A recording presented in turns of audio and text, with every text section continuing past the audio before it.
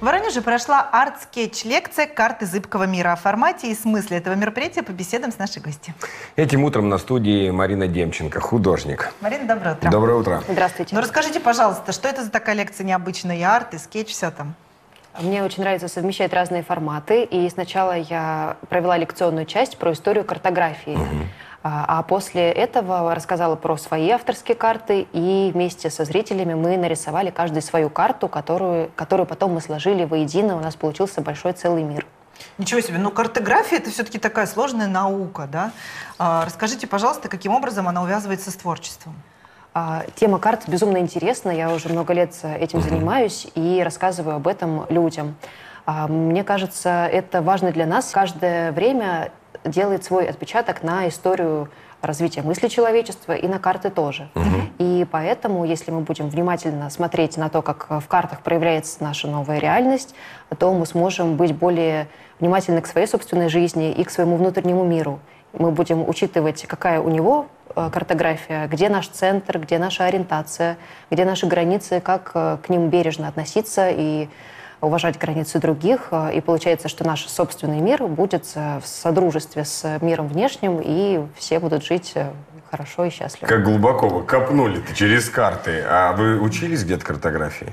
Я не училась картографии, я дизайнер-архитектор по образованию э, и работала художником, иллюстратором, а почему дизайнером. вдруг? Я очень заинтересовалась городом, э, историей города, локальной, локальным краеведением, урбанистикой. И получается, что интерес к архитектуре, к истории меня привел к теме карт. Это удивительно, конечно, но получается такой у меня путь. Но это другие карты, и они же отличаются от тех карт, которые действительно изучаются в картографии, где все четко, где все От контура, досконально, да. А здесь у вас, ну, дома нарисованы, ключевые локации. Это больше иллюстрации, знаете, вот э, атлас детский географический был, вот очень похоже, есть у меня такая ассоциация с ним. Действительно, это карты авторские, карты иллюстрированные. Они отличаются от реальности, но я настаиваю на том, что эти карты тоже имеют, Имеют право жить. жить. И более того, мы воспринимаем пространство и реальность очень субъективно, эмоционально. А, исторические улицы, типа как наш проспект Революции, для нас более важен, чем а, небольшая там улица на Машмете. Это наше просто свойство восприятия. И я хочу проявить то, что важно в городе. А нам важны достопримечательности, исторические места. И нам важны места, в которых у нас что-то произошло в жизни. Мы здесь учились, мы здесь жили, мы здесь с кем-то встретились. То есть мы воспринимаем город не математически. Мы существа чувствующие, эмоциональные. И поэтому мои карты тоже эмоциональные и показывают мир а, вот таким. Класс. Давайте на примере поговорим. Вот мы вас знаем как автора а, карт «Воронеж на ладони», да, уже много лет этот проект существует. А, расскажите, пожалуйста, о новых а, проектах, которые сегодня вы принесли к нам в студию, потому что здесь не Воронеж. Да, здесь э, карта Свияжска, карта Так. Бузулука, карта Петрозаводска. Все, кроме Петрозаводска, звучит как название какие-то сказочные. Действительно, я очень люблю интересные места, в которых есть своя история, свой какой-то э, вайб.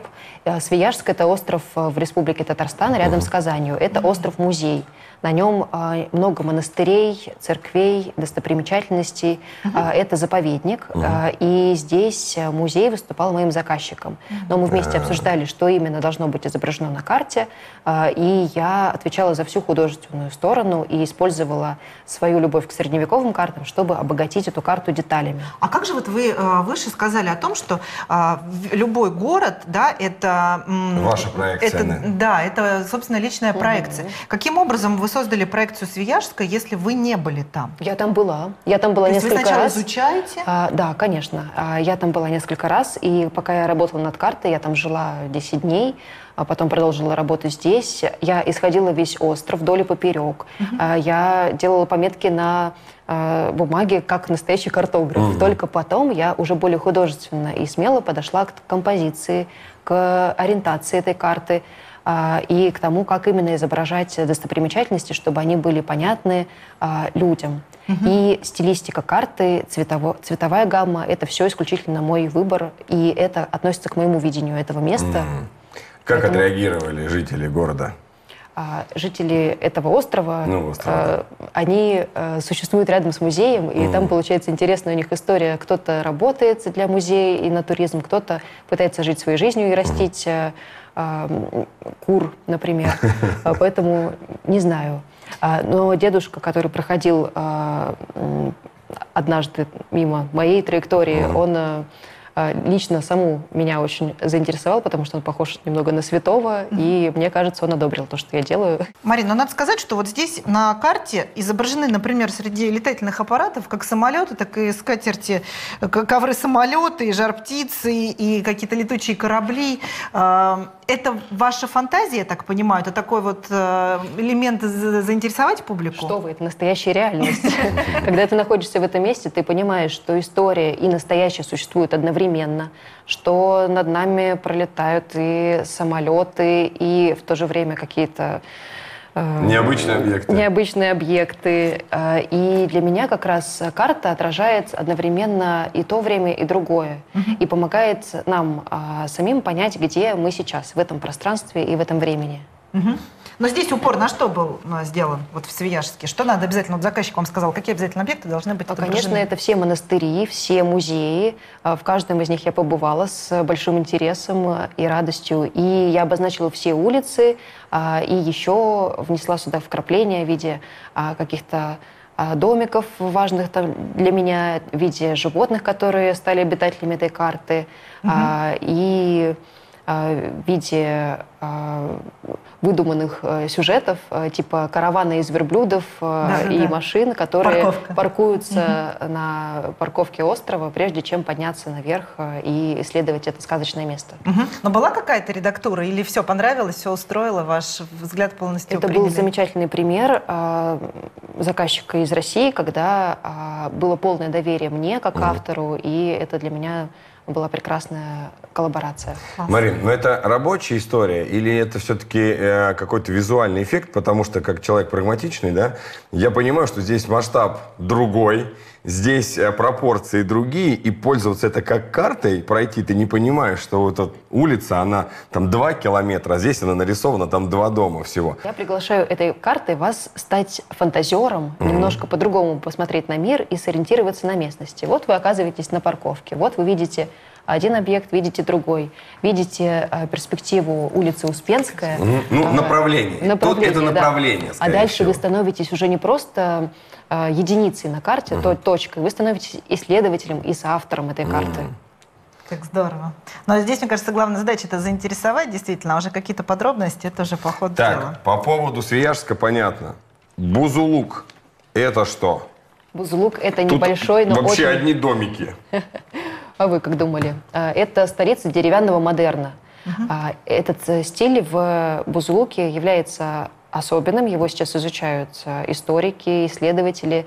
А, и город очень небольшой, но в нем столько этой прекрасной фактуры, одноэтажные деревянные модерновые домики. Конечно, они нуждаются в защите, они нуждаются в интересе зрителей. А, в поддержке людей. А, и моя коллега, исследователь, городская активистка Анна Мельникова предложила сделать такой проект. Угу.